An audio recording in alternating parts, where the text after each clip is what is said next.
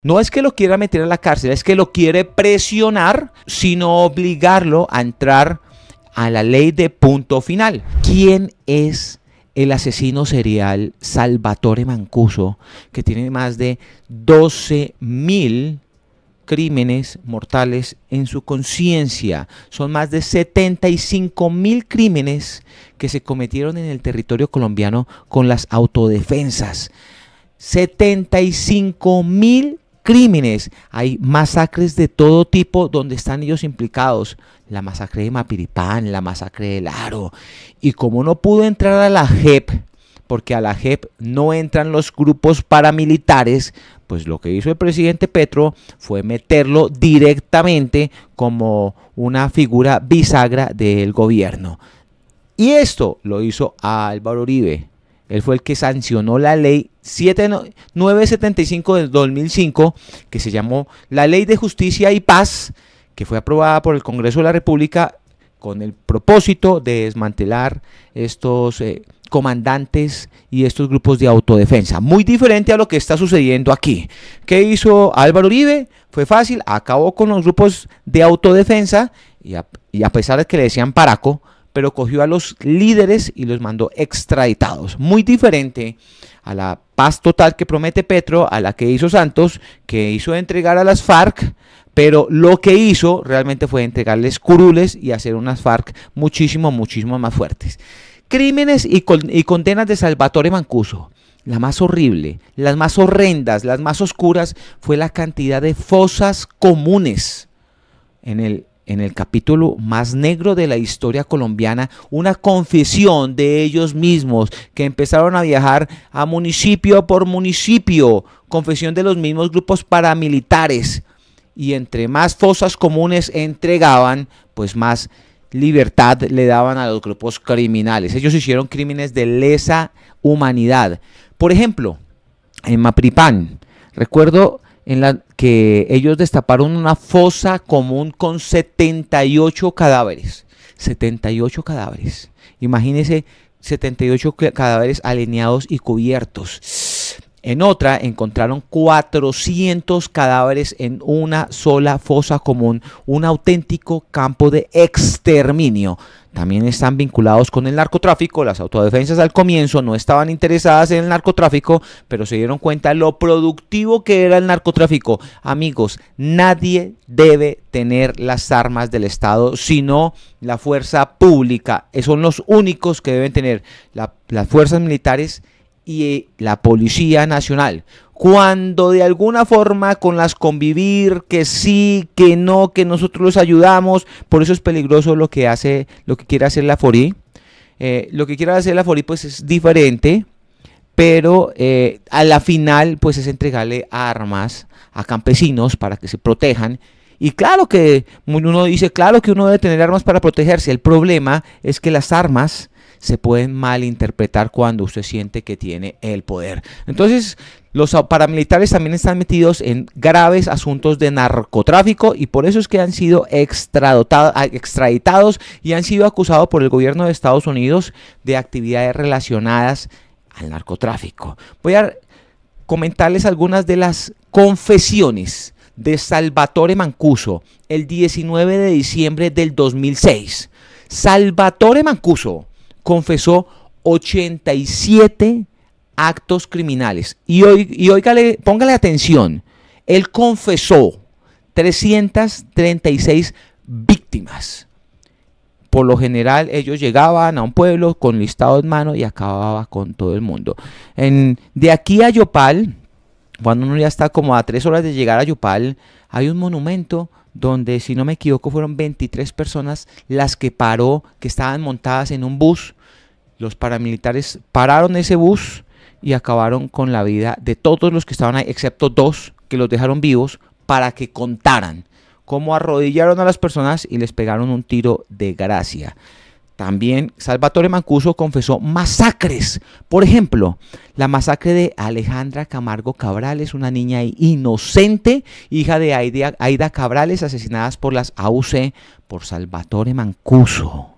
Por ejemplo, la masacre del Aro Dicha masacre fue localizada en el municipio de Ituango, Tolima, Antioquia, cometida en octubre de 1997. Para ese entonces yo estaba entrando a la Armada Nacional. Yo me acuerdo muy bien de, esa masacre hecha por criminales, donde Mancuso incriminó al Ejército Nacional, a Alfonso, Alfonso Manosalva, que murió también en ese año, el cual estuvo implicado en otros actos de genocidio. Esta es la muerte del criminal, el terrorista, el asesino serial Salvatore Mancuso. También, ¿cómo olvidar la masacre del Salado? La masacre del Salado perpetuada por las autodefensas, donde Salvatore Mancuso admitió la planificación de la masacre de El Salado en el Carmen de Bolívar, departamento de Bolívar. Yo estuve en esa zona ya de oficial como unos 15 años después de que sucedió esto y veía cómo le tocaba pedirle perdón a los pobladores por omisión por parte de la fuerza pública porque no estuvo ahí para protegerlos.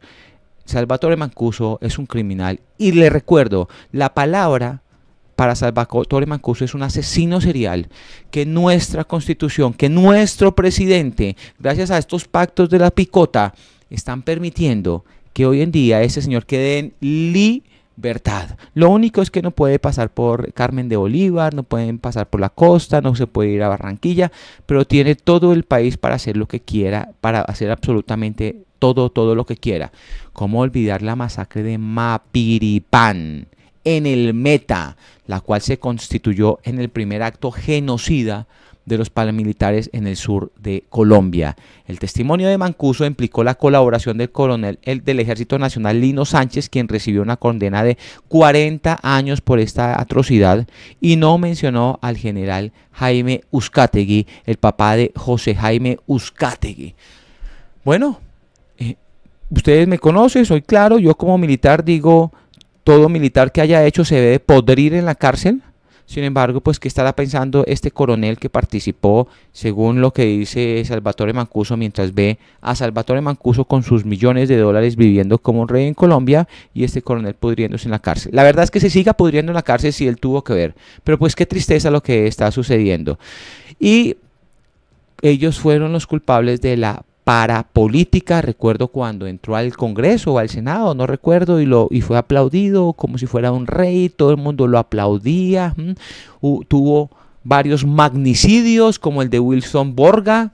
Borja, el de Kimi Perina, no una cantidad de, de magnicidio de alcaldes admitió el asesinato, este asesino serial de diferentes alcaldes como Henry Tafur, como San Martín de Loba en Bolívar, el alcalde del Roble Sucre, el alcalde de Tierra Alta Córdoba, el alcalde de Cúcuta, el concejal Bernabé Sánchez de Tibú, el poeta y exalcalde de Tibú, candidato a la gobernación de Santander, Tirso Velázquez, asesinó concejales como Óscar Enrique Niño Ramírez de Garamalote Norte.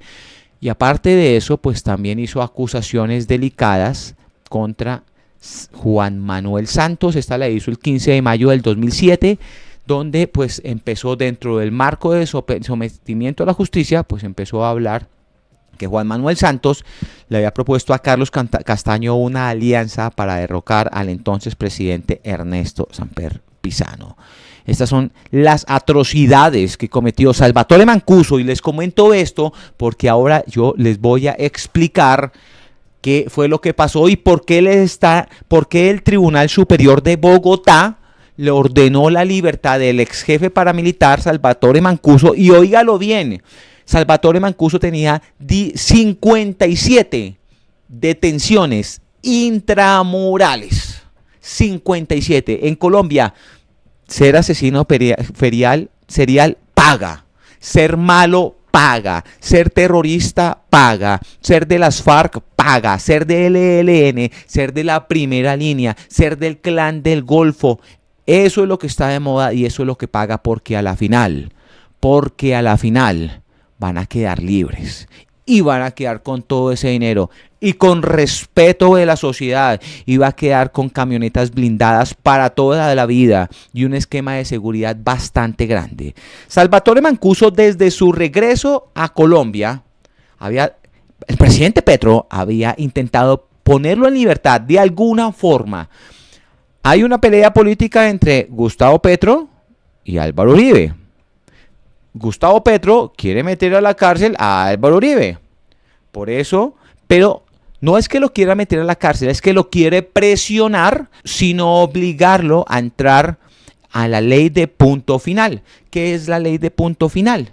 La ley de perdón absoluto. ¿Para qué? Para allí meter a su hijo, a su hermano y personas cercanas a Gustavo Petro que pueden quedar en la cárcel y que en algún momento pueden pedir el principio de oportunidad echándole agua sucia a Gustavo Petro, pero ellos, ellos quedando libres.